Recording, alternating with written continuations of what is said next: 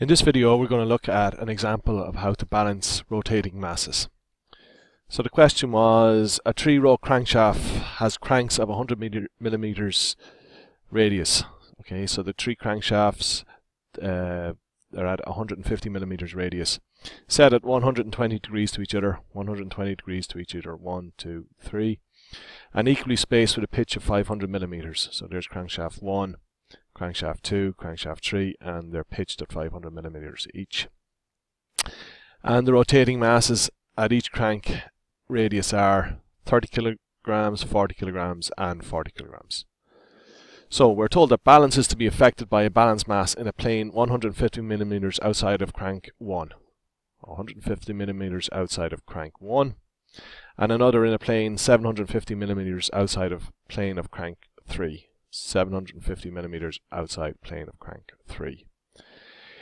Uh, the radii of rotation of the masses are to be 225 and 750 millimeters. So that's 225 for A. So we up 225 here, and 750 uh, millimeters for B. So that's going to be 750 millimeters up here. Okay, so we have to find out what is the mass of A and B and what these angles are. And when we do this question, we're going to measure all the angles from the horizontal. Right, so this would be 90 degrees, this would be 210, this would be uh, 330. Okay, so we'll start by taking the moments about A. And when I say the moments, we're going to talk about the moments and we're going to look at the horizontal component of those moments.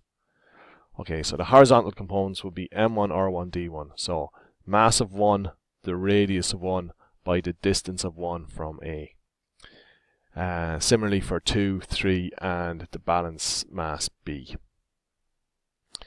Okay, so for uh, the moments, so for uh, number 1 from A, it's 30 kilograms, so M1 is 30. The radius is 150, we were told that.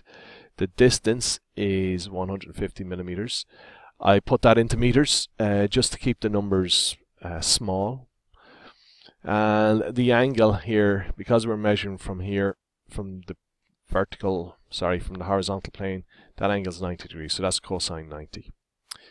Uh, for item 2, uh, M2 is 40. Uh, the radius 2 is again 150 the distance, so it's 500 plus 150, so that's on 650 millimeters. Being consistent, keeping these distances in meters, I put that as 0.650. And the angle measured from the horizontal is 330 uh, degrees. And we do the similar with 3, which is 40 uh, at a radius of 150. And the distance is uh, 1.15 meters. So 150 millimeters plus 500 plus 500. So there's the moments about A. Add that together and you get 1.15. And the angle measured from the horizontal is 210. Okay, the final uh, moment is this balance mass over here, which we don't know. Um, so I've just put it MB, RB, DB, cosine theta B. Okay, so when I put calculate those values out, I get 0 for this, I get 3377.5 for that, minus 5975 for this, and MRB, MBRBDB cosine TTB equals 0. Rearranging that, we get a value for MBRBDB cosine TTB. Okay. Now uh, we do the vertical component of the moments about A. So it'll be M1, R1, D1, sine theta 1, uh, sine theta 2, sine theta 3, and sine theta uh, B. I'll plug the values back in again. So M1 was 30, the radius was 150, uh, this radius here. The distance from A was uh, 150 millimeters, which I converted to meters, and I need to be consistent, so that's 0.15. And now it's a sine of the angle, so the sine of 90. Uh, we do the same for 2, so it's uh, 40 by 150 millimeters by 650 millimeters, which is 0.65 sine 330, and for 3 and for the uh, for the final one out here. So very similar to, to the cosine values, it's just we're getting the sine now. So there's the values, and when I rearrange them, I get uh, a value for MBRB dB sine theta b. So I have cosine, and now I have the sine.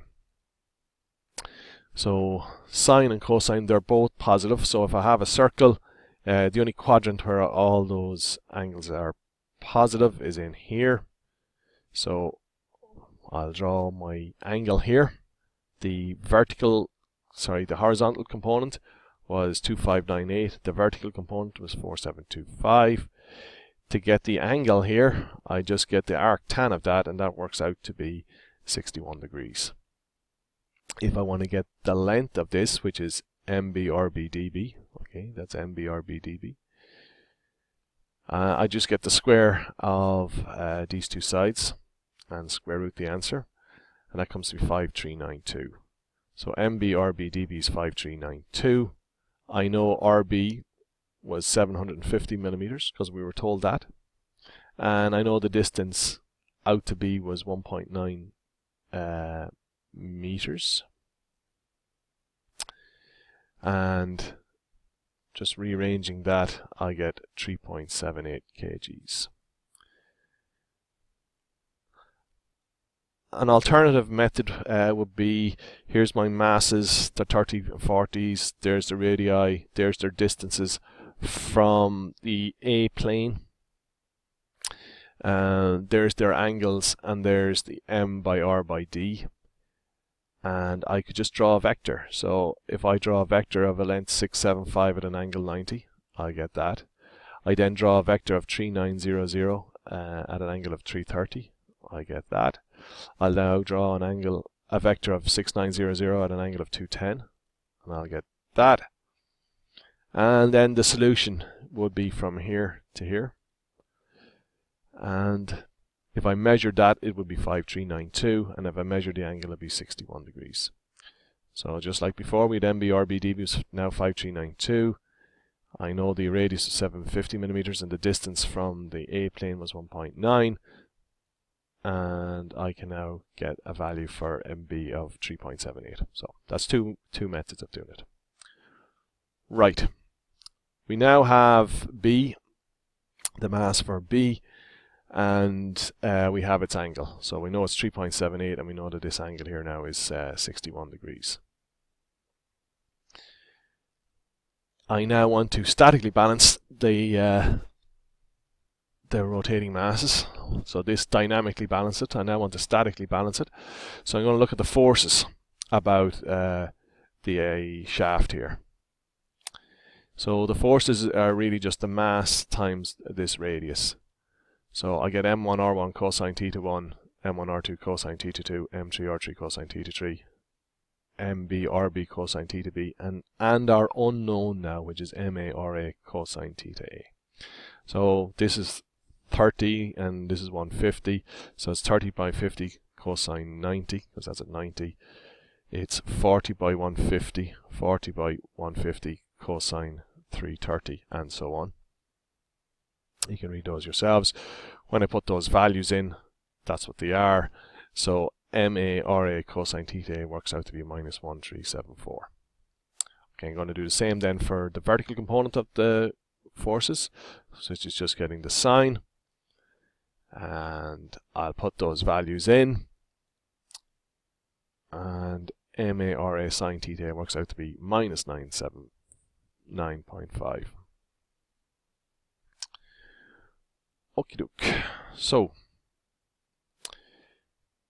this is negative, this is negative. So the only place where that happens is in this quadrant. So if I get the inverse tan of that, if I get the inverse tan of that, I get 35 degrees. Okay, But we've been measuring the angles from here. So 35 plus 180. So this value here, uh, just draw it in. So that value there, that works out to be 215 um, degrees.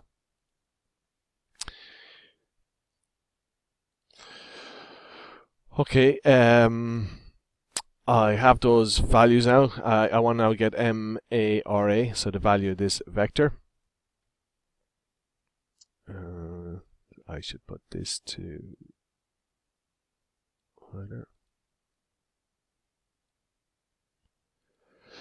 So it is the um, this length here.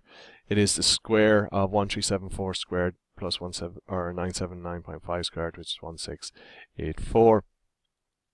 So MARA is 1687.4. I know RA is 225. That was given to us in the question.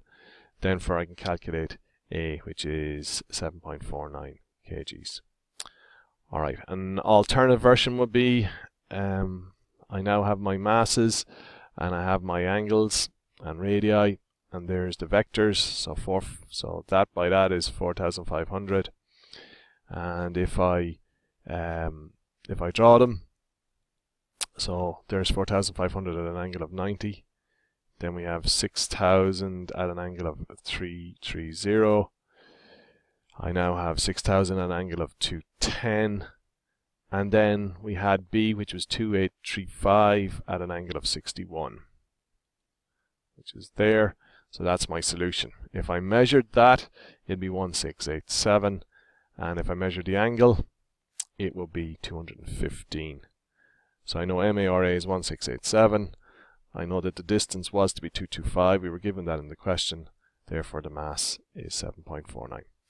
Okay, I hope you found that useful. Um, see you, you soon.